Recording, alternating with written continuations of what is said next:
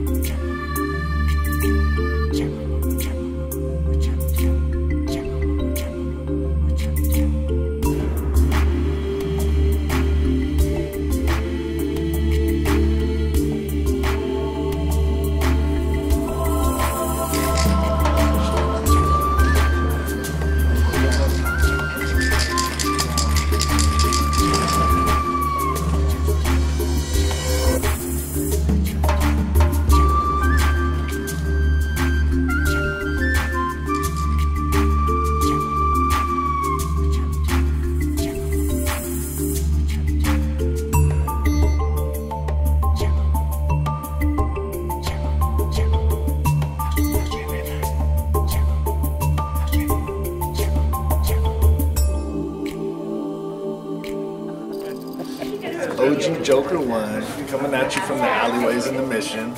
You know, about to let you know how it goes down, how we get these walls, how we paint these walls, how we decide who's gonna paint these walls. We got certain people uh, keeping up the alleys, looking out for it, making sure there's no weak stuff that goes up or stays up, making sure that when there's something ugly, it gets gone over somebody better comes over, you know, trying to maintain the quality and the level of art we have out here.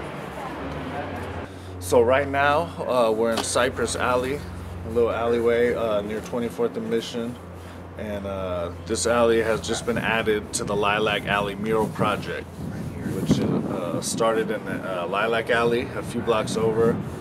Um, first moved over to the other side of Mission on Osage, and then now uh, the curator, Randolph Bowes, he talked to as many of the property owners and residents here as he could to have this alleyway added to the mural project. So um, the mural project is, uh, the Lilac Alley mural project is basically like a living, breathing, constantly evolving uh, public art gallery is the best way to describe it. And we have all kinds of artists, mostly graffiti artists, homegrown in San Francisco, um, who regulate the walls, but um, all kinds of artists from all over the world that actually come to San Francisco, and uh, this is where they come to paint. And we do it for the community, you know. Uh, for a lot of us, graffiti saved our lives.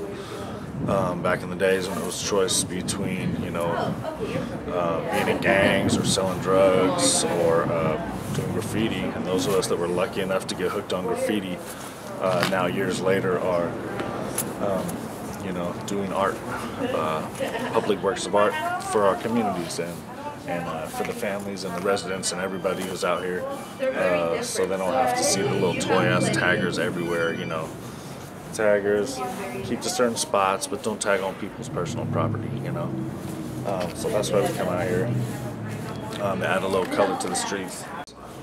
This dude Pango was doing pieces on these walls in this same alley before there was such a thing as graffiti in the way you think of it now. I'm talking early 80s, 83, I think 82, 83, something like that. Like before New York graffiti on trains became a fad uh, that spread to the West Coast. They were like doing cholo pieces back in the day. So it's always an honor to uh, paint next to my man Pango.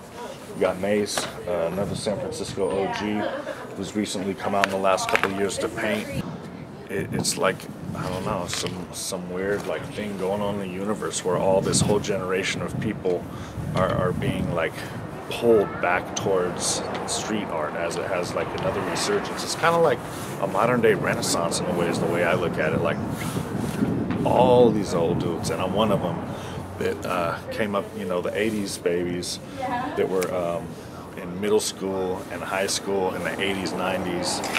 Um, coming up on three years, and since then I've managed to, you know, uh, reestablish myself in the graffiti game. You know, started out bombing. Uh, I didn't go straight to piecing because, you know, in this game you gotta you gotta earn your walls. You know what I mean? You really gotta pay your dues. Really, I just do these pieces so I can justify my bombing when I go out. Because at my age, as a bomber, it's just not a good look, you know. Uh, like we like to play up the art, and, there's definitely a benefit to that. Uh, I just don't really consider myself an artist, but I guess I am. I've been putting art in the streets now for about two years straight, and uh, getting a lot of uh, positive response from that, and uh, have a whole following of young people that uh, that I that I try to you know help to mentor as much as I can to you know follow their dreams through art.